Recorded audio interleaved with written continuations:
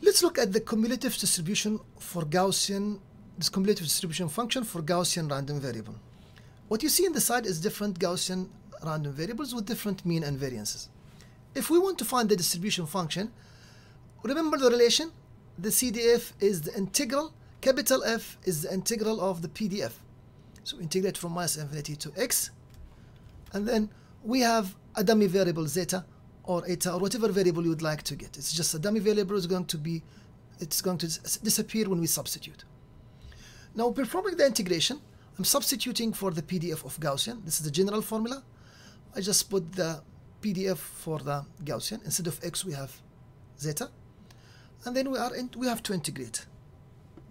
Now, unfortunately, there is no closed form, there is no known closed form expression or solution for this integration. So how do you find the CDF?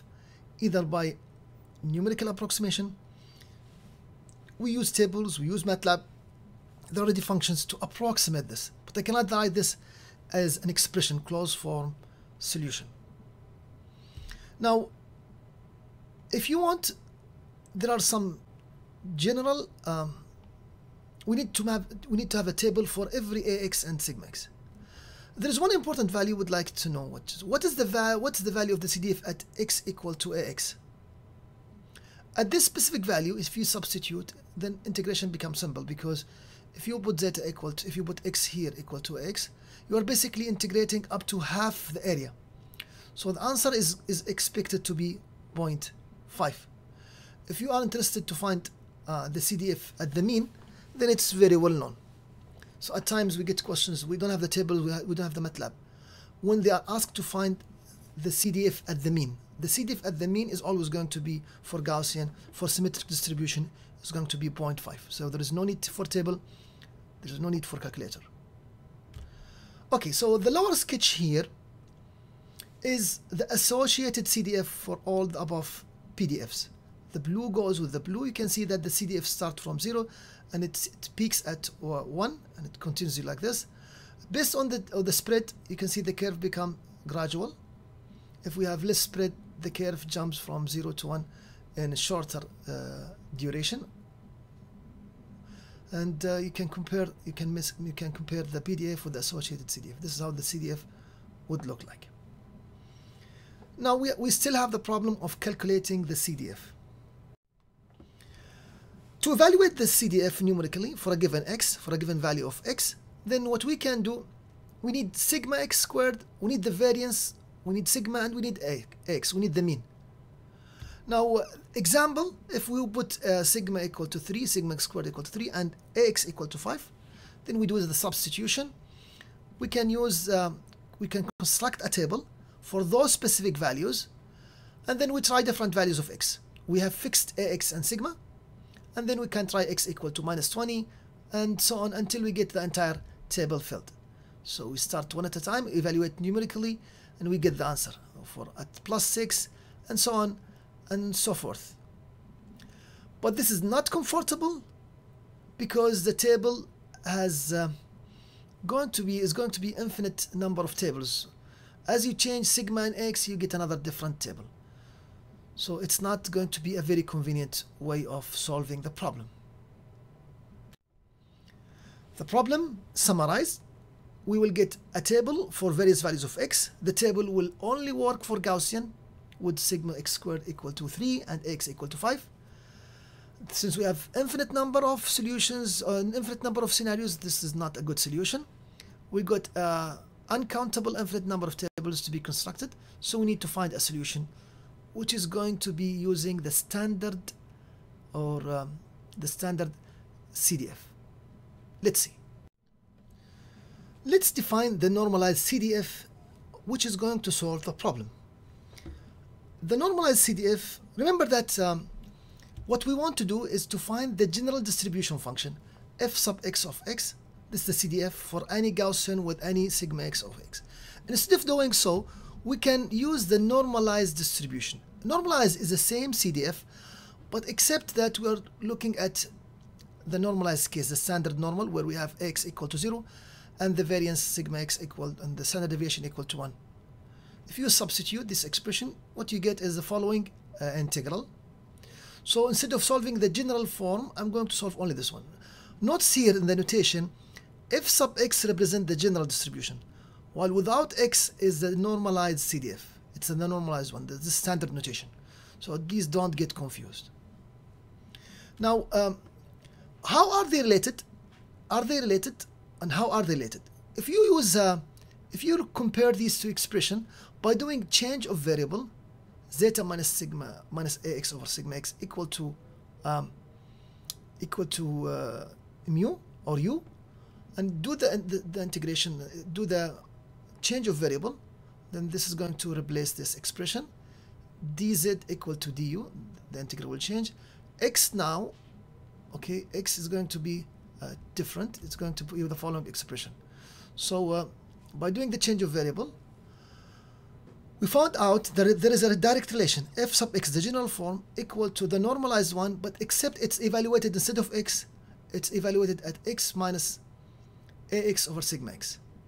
So we have the following fundamental relation I'm going to write this in a bracket here so you don't forget if somebody wants to find the CDF in general and what you have is the standard normal or the normalized CDF then what you need to do is subtract the mean and divide by the, the sigma x and you get your expression.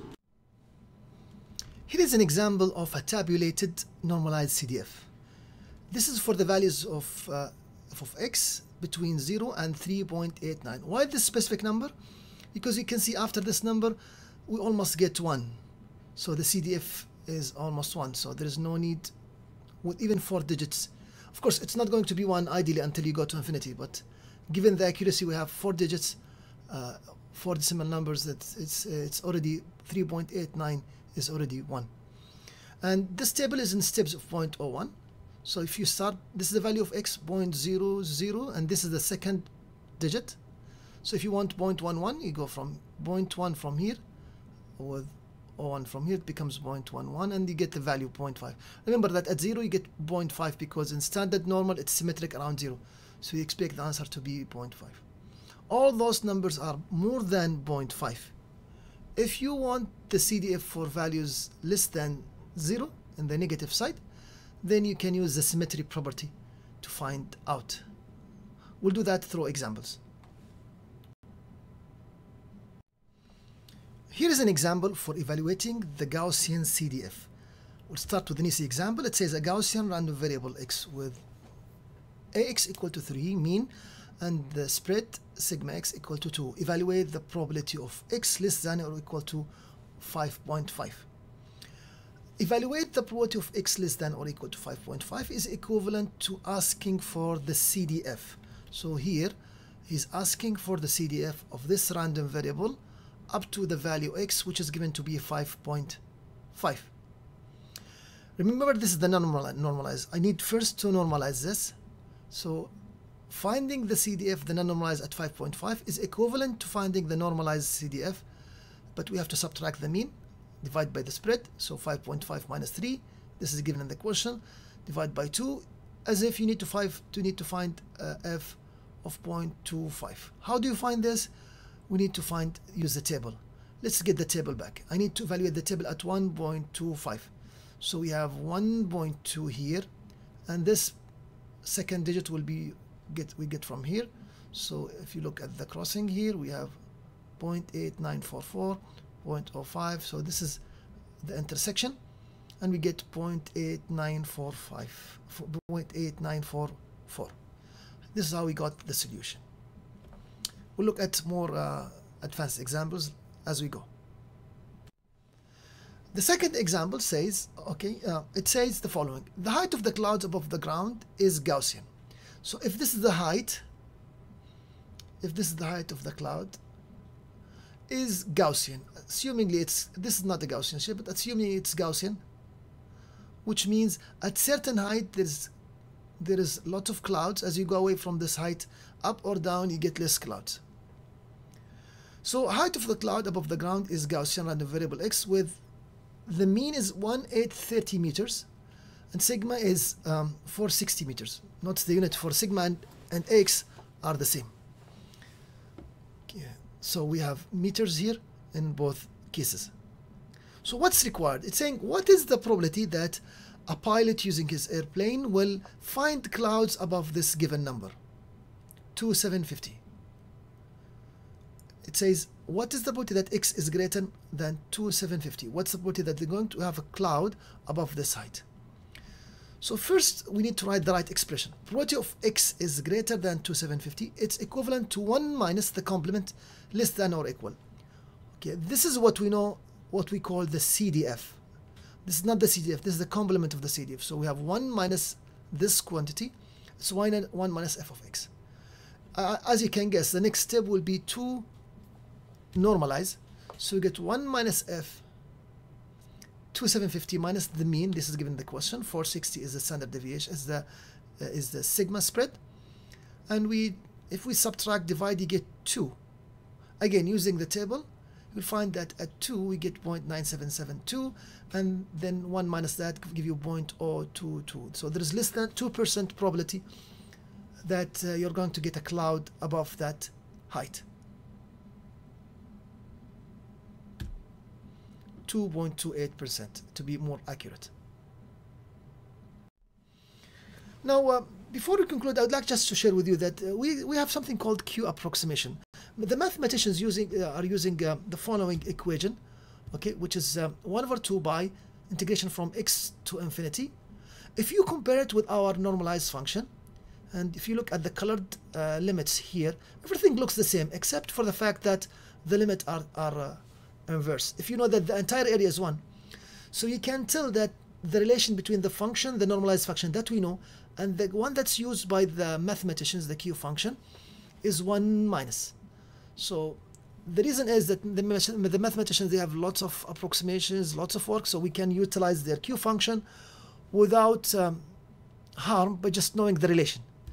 So there is no closed form again expression for x for q as expected because they're just complement. And now we can we can um, use some approximations. For example, this is one of the approximation.